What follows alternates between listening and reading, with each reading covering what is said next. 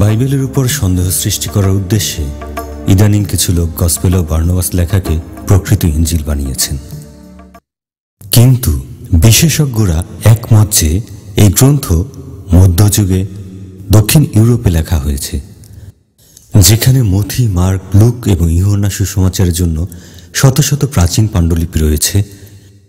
মসিহের পর প্রথম দেড় হাজার বছর থেকে এই গসপেল অব বার্নবাসের জন্য কোনো প্রমাণ নেই।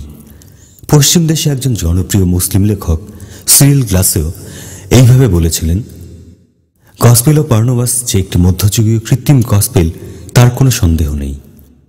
এই লেখার যথার্থতার বিরুদ্ধে এত স্পষ্ট প্রমাণ থাকার পরেও কিছু ইঞ্জিল সমালোচক এখনও তার প্রচার করে বেড়াচ্ছেন। কিছু কিছু লোক গসপেল অব বার্নাবাস সম্পর্কে এমনভাবে কথা বলেন যে সেটা মশিয়র আমলের একটি প্রাচীন দলিল। যা হোক ব্যাপার সেরকম নয়। সেটা যে ষোলো শতকে লেখা হয়েছে, তার পক্ষে অনেক প্রমাণ আছে।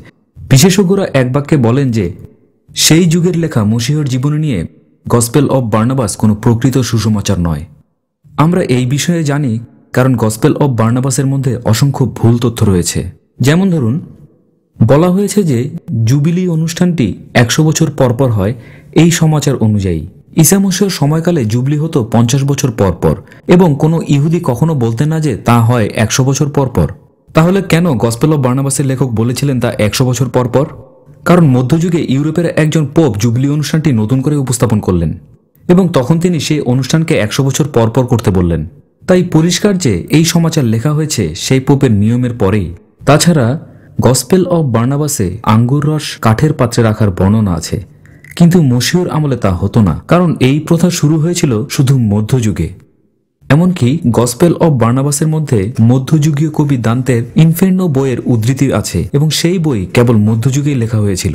এই গসপেল অব বার্নাবাস শুধু আসল সুসমাচারগুলোর বিপরীত নয়, কিন্তু তার মধ্যে অনেক কোরআন বিরোধী কথাও রয়েছে। কোরআন অনুযায়ী কেবল হজরত ইসাকেই বলা হয় আল মসিহ অর্থাৎ খ্রিস্ট। কিন্তু গসপেল অব বার্নাবাস অনুযায়ী ঈসা নিজে স্বীকার করলেন যে আমি মসিহ নই। গসপেল অব বার্নাবাসের মধ্যযুগীয় লেখক অন্য দিক দিয়ে কোরআনের বিপরীত শিক্ষা দিয়েছেন।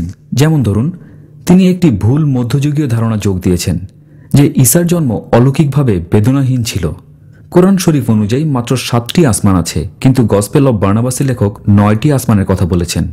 আরও অনেক বিষয় নিয়ে, যেমন দোজক, বিচার, মদ, বহুবিবাহ, শয়তান, নবীগণ এবং কোরবানি নিয়ে লেখা বিষয়গুলো কোরআনের সাথে মেলে না। তাই এই লেখাটি প্রাচীন যুগীয় লেখা হওয়ার কোনো সম্ভাবনা নাই। এই জন্য প্রত্যেক বিশেষজ্ঞ এক বাক্যে তা অগ্রাহ্য করেন এবং আমাদেরও তা করা উচিত।